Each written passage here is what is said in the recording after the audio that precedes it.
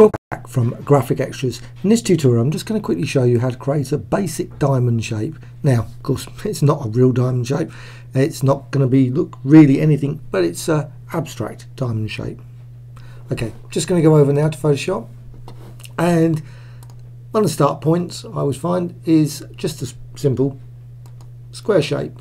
Uh, I'm just going to use it as a shape, so just over there and I can just quickly apply it just like that and then I can rotate it.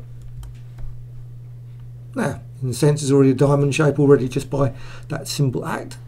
So I'm just click OK there. And I could apply other effects as well. I could or transformations. I could go to edit transform perspective. And just hold the shift down.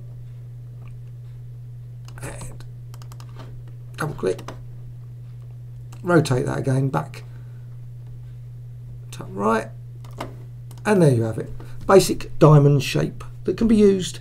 Well obviously you could continue uh, modifying that's just what I'm going to do now. I'm just actually going to go from from there and it's still a shape shape layer. So uh, I'm, I'm just going to quickly apply effect style just go to style and layer layer style. And it's it's always quite nice to have a start point so you can just continue from that point.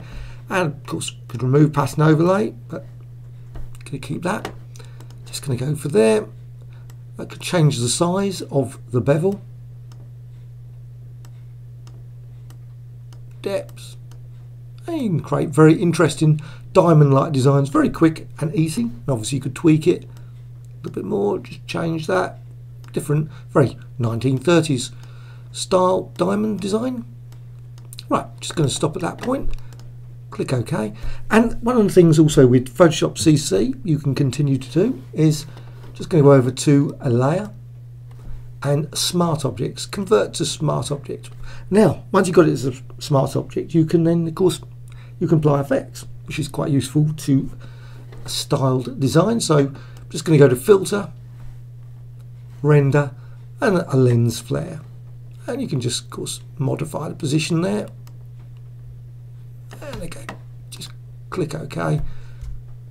And of course you could change it whatever you want to do with the lens flare. Don't have to actually use a lens flare. You could of course apply other effects as well maybe a blur or whatever.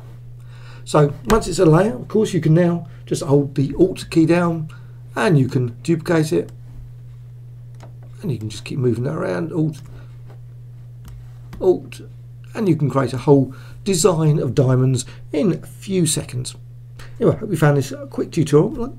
say it's not the ultimate way of creating a diamond design, but uh, it's certainly one way of creating one. So always adding new tutorials, so thank you much.